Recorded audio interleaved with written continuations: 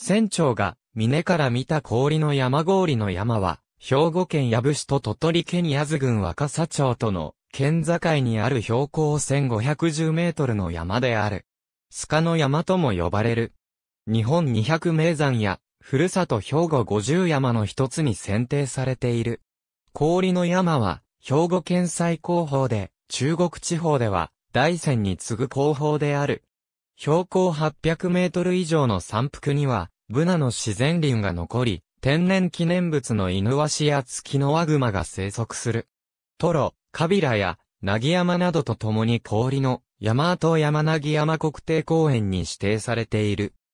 豪雪地帯に位置するため、近代以降、再録及び登録とその北隣の八伏山にかけて、多くのスキー場が建設されているがそれ以外は、原生林が保全されており、21世紀に残したい日本の自然百選や日本の秘境百選などに選ばれている。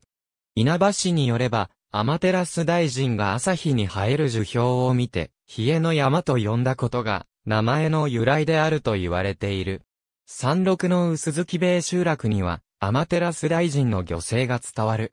鳥取県側では、伊勢道として、アマテラス大臣が実際に通られた道として、江戸時代には、伊勢参りの際に利用された。伊勢道の途中に、アマテラス大臣が腰掛けたとされるサザレ石がある。氷の山は、約258から255万年前に噴出した安山岩質溶岩からなる。約310から220万年前に形成された複製火山の一部であり、北部に隣接する八伏山、ト川山、扇の山の山腹部、牛が峰山などと合わせて、将来という名称で第四期火山に区分されている。寺白井火山の活動初期には、現在の氷の山の北約 10km 地点において、大量の火砕流の噴出が生じ、大規模な陥没カルデラが形成された。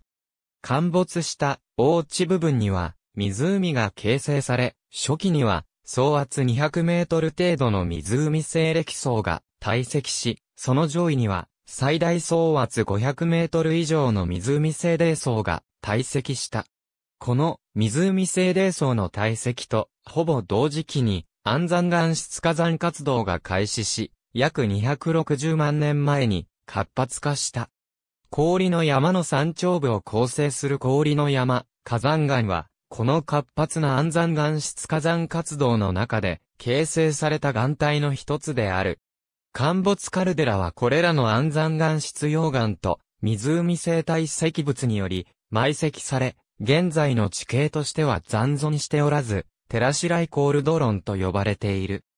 JR 山陰本線八日駅から全ただし、バス、八部瀬行で約50分、福貞下車若狭鉄道若狭駅から若狭町 A バス薄月米線で約25分、氷の山ふれあいの里下車北、近畿と八日自動車道八日表の線インターチェンジから国道9号を経由し、関宮小城線で氷の山スキー場方面へ。ありがとうございます。